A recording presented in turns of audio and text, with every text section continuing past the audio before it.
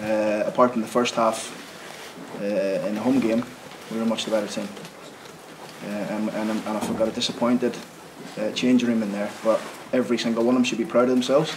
Every single member of my staff should be proud of themselves because we've just come to a team who haven't been beaten seven or eight months and played them off the park. That's that's not a that's not me being any you know critical of Charlton. We did, um, and we've taken them all the way. Um, the chances we've had tonight, some glorious chances. Um, but you know, firstly, congratulations to Charlton as well. You know, they've, they've, they've done it. Um, the fans backed them tonight, but I couldn't be more proud of my players.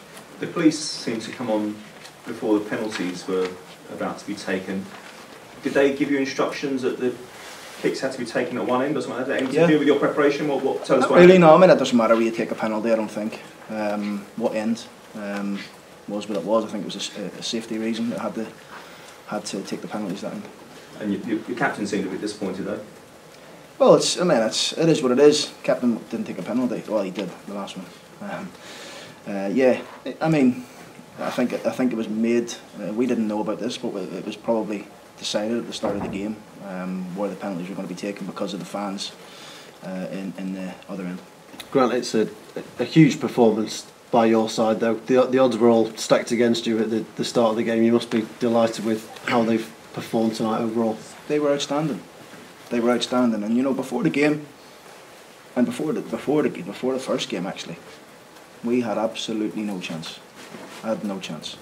You know, we get Chris Powell to do the Sky Sports tonight. They're so confident Charlton were going to win, and they have. But we were outstanding, we really were, and um, no one gives a chance. But we come in, we we we were to a man, first class. Particularly after how the game started. Two minutes in, they score, and you, you think you've got a mountain to climb at that point. Yeah, but this group can respond, uh, and and they'll do it again next year. They'll respond again.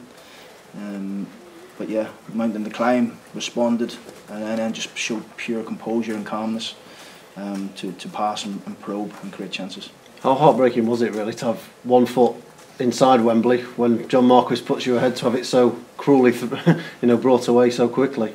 Yeah, yeah, but I mean, listen, I'm not here. I'm not going to be critical of anybody tonight. Um, we've got this far. We've pushed a very good Charlton team all the way, um, and they know they're, they've been in a game tonight. They really do. Could you have done any more as a team, as a squad today?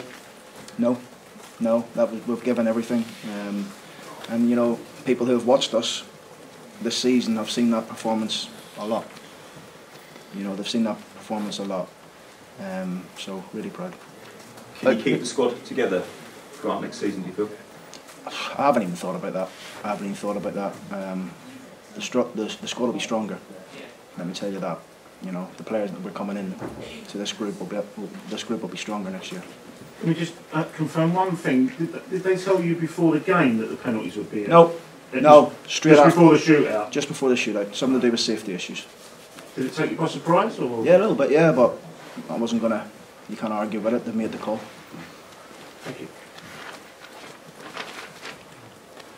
Grant, you wanted them to play without fear tonight, and they certainly did that. They did, they did, and and like I say, Liam, you've seen this a lot this season. You come to every game, and they've done it in abundance this year. Um, when we haven't performed to where we can be, we can get beat. Like we've shown, that's probably the consistency levels and the reason why we weren't pushing up there with the Charltons and the Sunderlands and the Portsmouths and the Lutons and the Barnsleys because we weren't consistent enough at it. Um, but this has given us a taster for next season. confident you can go again around with what you've got and after with a few sort of Well, we'll be stronger. We'll be stronger. We're, we're, we're quite down the line with a few signings, and, and uh, this group will be stronger. Some people probably wrote you off going into the second leg and it was like a foregone conclusion given how strong Charlton were. And how much motivation did that probably give the team to just be the team to really just put one over Charlton and get into it? I've got a squad who believe in themselves and believe in their own ability, and, and they're together. Um, and, and, and they believe they could do it tonight. I could sense it. You know, we come up yesterday and I could sense the whole group, the atmosphere, uh, a real sense of calmness about the group, but a real self-belief that we could do it and we come here and win. Uh, and we've done that. But unfortunately, you know, penalties is a bit of a lottery. Uh, and our, two of our main men, really, Tommy Rowe and John Marquis, credit to them for stepping up and taking the pens. Um, you know, so they're, feeling a bit down in there, but the boys have the boys have picked them up. You really unsettled Charlton, especially in the first half, and giving them something to deal with. Um, how much did you prepare for that in terms of making sure that Charlton couldn't play, or was it down to the players just being super We were we were tactically um, very good right from the second game, the second uh, half of the first game.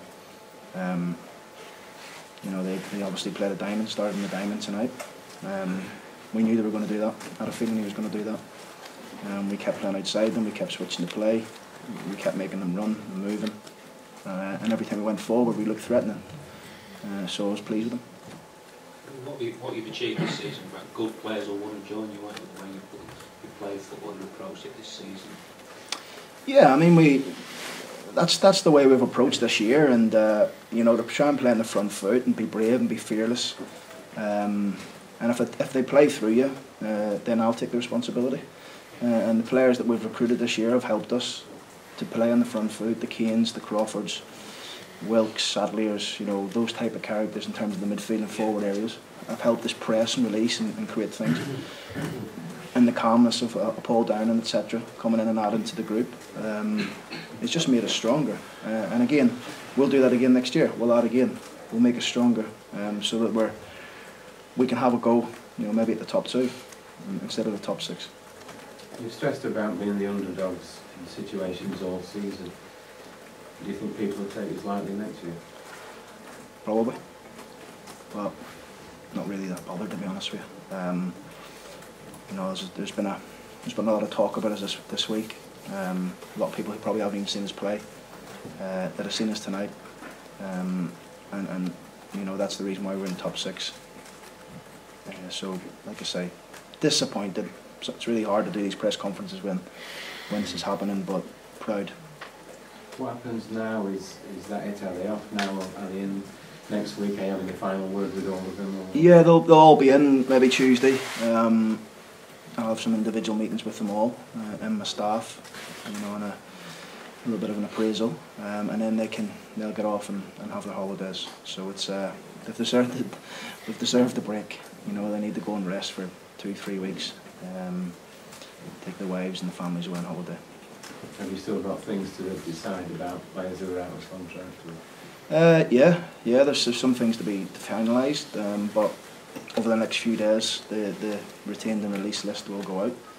Um, i.e., the ones who have offered contracts through, the ones who we are going to release. So we'll see that in the next few days, and then we'll get working on the recruitment side of it. Uh, did you practice penalties at all with? Because uh, Lee said that his side didn't. They did it. They did. He said he didn't. Yeah, I mean, it's uh, listen. Penalties is penalties. Y- You can practice them and lose. You can, and like you've seen tonight, you don't practice them and you can win. So I've been in both scenarios. Um, I don't think that's any reason why John and Tommy missed. Um, you know, because on the training ground, it's easy. You know, you haven't got 25,000 fans yelling at you. Said that during the week on one of our press conferences. When you step back and look from tonight, though, can you can you take a huge amount of pride in what you've done this season? I know it's not how you wanted it to end. I'm disappointed. I really am. I'm disappointed that we didn't get there. Um, you know, I can be, I'm proud of the players. I'm disappointed with myself that I couldn't just get this over the line. Um, but I'll move on. All right. Thank you.